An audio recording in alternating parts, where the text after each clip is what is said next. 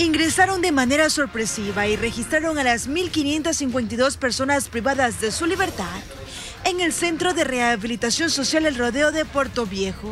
Hemos reencontrado armas blancas y droga, en este caso sustancias sujetas a fiscalización. ¿Dónde las tenían ocultas? Encaletadas al interior de las estructuras de las camas, de las paredes y alcantarillas. Más de 600 policías intervinieron para sacar todos los objetos prohibidos que estaban en las celdas.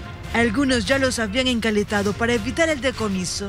Estos operativos se van a mantener a lo largo del año, no solamente en este estado de excepción. Desde los exteriores, otros policías buscaban más indicios. Los internos suelen despojarse de los objetos solo hasta que el control culmine. Con esto lo que logramos es reforzar el, y blindar tanto al interior como al exterior y no puede ingresar ninguna de estas sustancias o armas. Se instalaron mallas metálicas para cerrar el perímetro principal, donde se someterá a un primer control a todos quienes vayan a ingresar al lugar.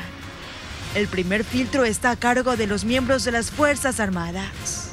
Además, se dieron los primeros traslados de las PPLs hacia centros de internamiento de la zona 8, al ser consideradas de alta peligrosidad. Estuvimos dando el resguardo en el traslado de los internos que fueron seleccionados por contingencia penitenciaria en el rodeo. Tenemos conocimiento también que se realizó en Jipijapa y también en la cárcel de Sucre Bahía. Entre los nueve internos trasladados estuvo Manuel Antonio Figueroa Villamar, alias Papelito, quien seguía liderando desde el rodeo bandas delincuenciales.